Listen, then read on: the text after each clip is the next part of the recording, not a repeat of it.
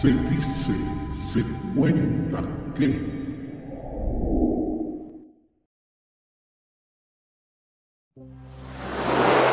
Hola Cuervis, hoy por hoy me gustaría comentar de algo que me hace mucho ruido en mi cabecita loca. Como habrás visto, me encantan los podcasts de temas paranormales y de misterio. He visto recientemente una publicación donde se habla de enemistades de youtubers. Eso no es bueno. Hay que dejar esas notas para programas de chismes y diretes en la web. La gran telaraña de la web alcanza para todos, no porque yo haga alguna leyenda que otro canal haya elaborado con antelación, quiere decir que me estoy clonando cosas de dicho podcast.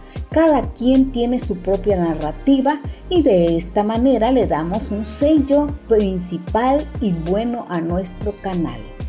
Les muestro flashazos de los casos recientes y me da tristeza que estos canales anden en ello, pues les sigo a todos. Lo, cada cual tome su estilo propio, aunque sea la misma nota, se verá que es elaborado de forma original. No hagan estos dimes y diretes, chicos, eso demerita al propio canal. Ya bastante tenemos en la red de casos de este tipo, chismes, que es de gran agrado, como veo en la audiencia, pero a veces queremos ver cosas más serias y constructivas. Por eso Insto a construir, no a destruir. Que no se diga más. Dense un fuerte abrazo y adelante mis chicos, que además los felicito por tan buen canal.